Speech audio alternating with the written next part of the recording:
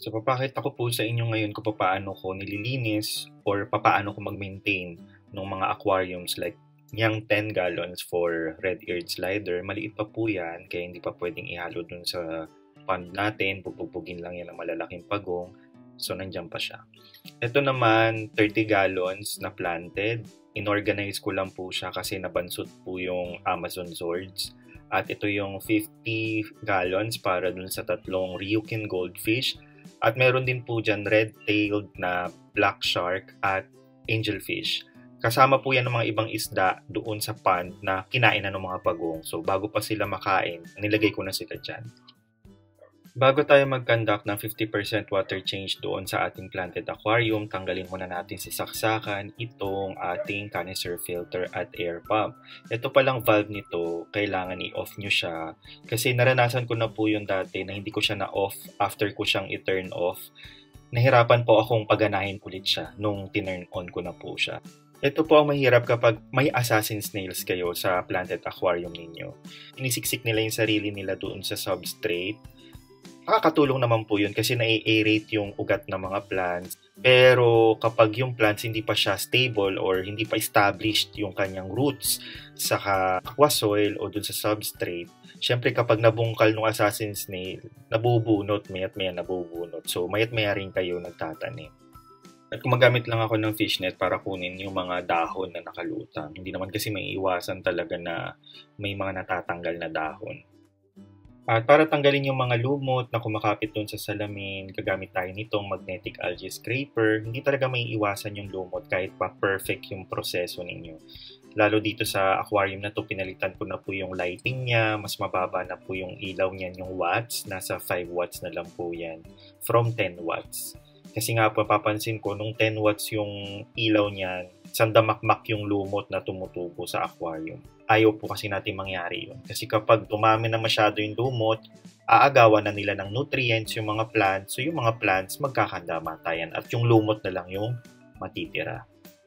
At para po sa mga lumot na hindi natanggal ng magnetic algae scraper, gagamit na lang tayo ng toothbrush. Itong toothbrush na to pang aquarium lang talaga ito.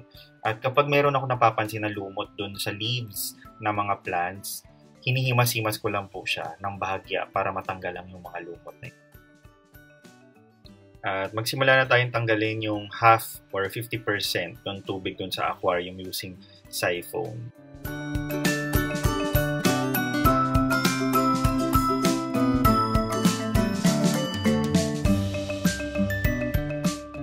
Ang tubig namin ay galing ng Maynilad. Chlorinated po yun. Okay lang na direkta na.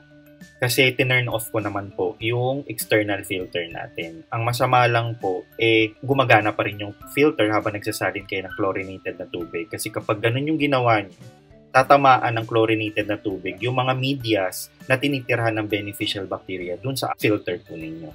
So, anong mangyayari kapag natamaan sila ng chlorine? Mamamatay po sila. So, masisira yung nitrogen cycle sa aquarium ninyo. At para wala ako nasasayang ng oras, habang hinihintay ko na mapuno yung sinasarina natin ng bagong tubig, lilinisin ko na muna itong 10 gallon na aquarium ni Matana. At madumihin nga talaga ang pagong, kaya every time na nililinis ko tong tank niya, kailangan ko din punasan ng Scotch Brite yung salamin ng aquarium kasi ang dami nakadikit ng mga sludge. At hindi to kakayanin ng siphon kasi mababa yung level nitong aquarium na to, nasa baba siya, malapit sa flooring. So, gagamit tayo ng water pump. Yung water pump din na ginagamit natin for canister filter, yun na din yung gagamitin natin na panghigop ng tubig. Brushin na rin natin yung shell ni sungit kasi maraming mga slime o yung parang madulas na nakakapit sa shell niya. So kapag hindi pa at isa inyo yung pagong nyo, red-eared slider, huwag kayong masyado magiging kampante kasi masakit mga gat yan At syempre, hindi naman natin lahat tinanggal yung tubig kasi hindi naman pwede yun. Kahit pagong pa to, kailangan pa rin yan ng beneficial bacteria. So, gagamit lang po tayo dyan ng net din para tanggalin din yung mga debris na pwede nating matanggal. At bago natin buksan yung ating canister filter, kailangan muna natin i-neutralize yung chlorine sa pamagitan ng paglalagay nitong Amazon Meds Anti-Chlorine Solution. At para po pala sa mga hindi pa nakakaalam kung paano gamitin itong Amazon Meds, 1 teaspoon daw for every 10 gallons na tinanggal mo. Kung ilan lang yung pinalitan mo, yun din lang yung idodose mo. Since 30 gallons to, 15 gallons lang yung tinanggal natin. So nilagyan ko lang po siya ng 1 and a half teaspoon. Maghintay lang po tayo ng 3 minutes bago natin i-dose nitong beneficial bacteria by Pet Planet PH. Naubos na po kasi yung ano ko, Optima Lumipas na yung 3 minutes, lagyan na natin itong beneficial bacteria. So ito, since chlorinated din yung nilagay natin, i-dechlorinate din natin siya mamaya using anti-chlorine solution. May magtatanong dyan, paano po kung internal po yung filter ko like sponge filter? Hindi po pwede itong gantong proseso. Kailangan po i-dechlorinate ko muna yung tubig bago nyo isalin dun sa aquarium ninyo. Kasi may mga naninirahan po na beneficial bacteria dun sa internal filter nyo like sponge filter na kapag natamaan ng chlorine, mamamatay.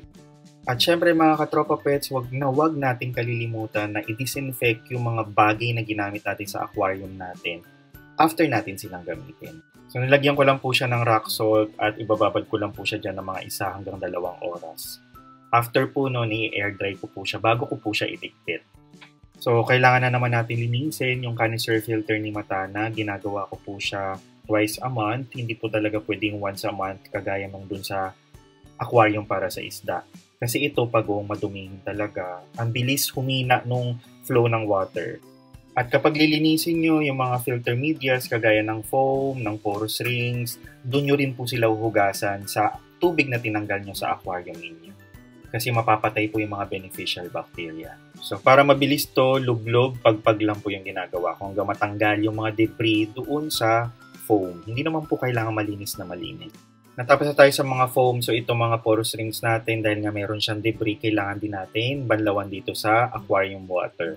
And the rest, kagaya nitong filter chamber, yung mga hoses, yung mga tubo, pwede nyo na pong banlawan yan sa running water. Siya nga pala mga katropa pets, yung mga medias, after nyo silang linisin, kailangan nakababad pa rin sila sa aquarium water. Kasi kapag na-expose sa hangin yun, mamamatay yung mga beneficial bacteria. At ito, share ko lang yung bagong technique na natutunan ko. Dati kasi nagpapasok pa ako ng bulak dyan sa loob ng hose. Ngayon, papagpag lang po natin siya. Tingnan nyo po kung saan na matatanggal yung mga sludge o yung mga dumi na na-trap doon sa loob ng hose. At syempre, hindi natin pwedeng kalimutan yung motor. May nakabara na doon sa ano niya, impeller niya. So habang nililinis natin yung filter kanina, dinos ko na to na anti-chlorine solution mapapansin nyo naman, oh, ang lakas ng flow ng tubig. So kapag humina yan dyan, sign na naman na kailangan siyang linisin. At linisin naman natin itong 50 gallons na aquarium. So nagsimula ako ng 4. Yung inabot na rin ako ng gabi. Ganito talaga yung routine ko kapag Saturday. So dito pa lang nauubos na yung oras ko. Pero okay lang. Kasi love ko naman to mga alaga ako.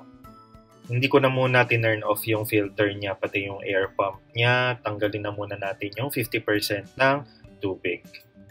Bago natin i-disconnect yung mga tubo, kailangan i-close natin yung valve kasi kung hindi, tatagas yung tubig doon sa aquarium. Kung gusto nyo pala matutunan mga katropa pets kung paano i-set up yung mga filters na nakikita ninyo dito sa video na ito, i-check nyo na lang po yung mga links sa description ng video na ito wala dyan yung mga hoses, pati yung mga tubo, like yung inlet and outlet pipes. Hindi ko na po siya sinama sa paglinis kasi malinis pa naman po. SOP na to pagdating sa mga external filters, kagaya ng canister filter. Kailangan lagyan nyo po muna yan ng tubig bago yan kumana o bago nyo yan i-turn on. At yung tubig, dapat galing din dun mismo sa aquarium hindi pa muna natin siya pwedeng i-turn on hanggat hindi pa natin nasasalina ng bagong tubig yung aquarium. Siyempre, bago natin pagganahin yung ating filter, lagyan muna natin ito na anti-chlorine solution. And after 3 minutes natin i-dose sa anti-chlorine, lagyan natin ito ng beneficial bacteria. Na turn on na natin itong filter at nabuksan na rin natin yung mga valve ipapampo natin siya para magsimula na mag-flow yung water.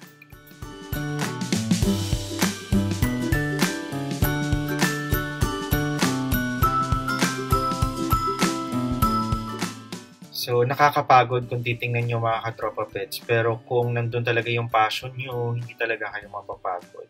Kaya para sa mga magsisimula pa lang dyan sa pag-iisda, kung sa tingin nyo na hindi nyo pa kaya yung responsibilities, pag-isipan nyo munang mabuti yan. Kasi ang pag-iisda kasi or pag-aalaga ng mga hayop, hindi yan yung parang gusto nyo lang ngayon, kapag pinagsawaan nyo na, itatapon nyo na lang. Hindi ganun. So, kita-kits tayo sa next na video mga katropa pets. At kung kayo meron pang mga questions or topic suggestions, mag-comment lang sa video na ito na may hashtag katropa pets para may isama natin yan sa raffle contest natin next week. Kapag nabunot po yung comment ninyo, pwede po kayo manalo ng 500 pesos worth na pet-related item. Ako na yung mag-order sa Lazada or Shopee. Included na po dun yung shipping fee. At syempre, available lang po ito sa mga naninirahan dito sa Philippines. Mamili na rin tayo ng isang lucky winner dun sa mga nag-comment sa previous na video natin.